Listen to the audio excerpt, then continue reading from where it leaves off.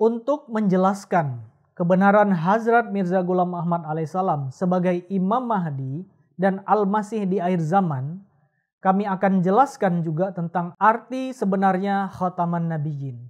Berbeda dengan arti khotam yang dipegang oleh orang-orang pada umumnya, yang diartikan sebagai yang terakhir dari segi waktu, makna hakiki Rasulullah Shallallahu Alaihi Wasallam sebagai khatamun nabiyyin seperti tercantum di dalam surah Al-Ahzab ayat 42 adalah cincin materai Allah Ta'ala. Inilah definisi sebenarnya dari kata khatam. Dengan kata lain, setelah kedatangan Rasulullah Shallallahu Alaihi Wasallam, beliau merupakan sarana bagi orang-orang untuk mendapatkan kemajuan rohani dan mengikuti beliau dan syariat beliau merupakan satu-satunya jalan untuk meraih ketinggian rohani. Tetapi menurut definisi ini, segel atau cincin materai tidak akan disebut sebagai cincin materai selama ia belum mencapkan bentuknya kepada orang lain. Dengan demikian, kata-kata khatamun nabiyyin sebenarnya semacam nubuatan bahwa salah satu dari pengikut beliau akan ada yang menjadi cerminan atau pantulan kerohanian Rasulullah Shallallahu Alaihi Wasallam yang sempurna.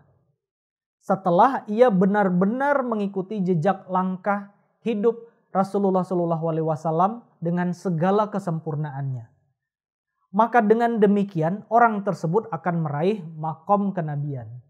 Hal ini diperjelas di dalam ayat Al-Quran surah An-Nisa ayat 70 yang berbunyi Wa yuti'illah war rasula faulaika ma'al ladzina an'amallahu alaihim minan nabiyyina was-siddiqina wasyuhada was-solihin wa hasuna ulaika rafiqa.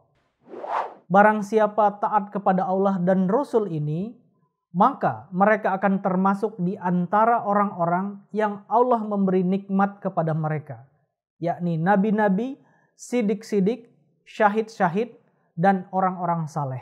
Dan mereka itulah sahabat sejati. Dengan kata lain, dengan jalan mengikuti Allah dan Rasulullah secara sempurna, maka akan ada yang mendapatkan empat derajat ini. Yang pertama adalah nabi, yang kedua sidik, yang ketiga syahid, dan keempat adalah soleh. Dengan demikian, tanpa datangnya seorang nabi ummati atau nabi pengikut, maka nubuatan yang terkandung di dalam kata khotamun nabiyin atau materai para nabi atau stempel para nabi tidak akan terpenuhi. Jadi pendakwahan Hazrat Mirza Gulam Ahmad sebagai nabi ummati atau nabi pengikut dan telah diangkat ke derajat kenabian yang semata-mata didapatkan melalui ketaatan dan kecintaan sempurna pada Rasulullah Shallallahu Alaihi Wasallam tidak hanya bersesuaian dengan konsep khotamun nabiyin ini, tetapi juga sebagai penggenapan luar biasa dari nubuatan yang terkandung dalam kata tersebut. Jadi ini adalah bukti yang tak terbantahkan akan kebenaran Hazrat Mirza Ghulam Ahmad.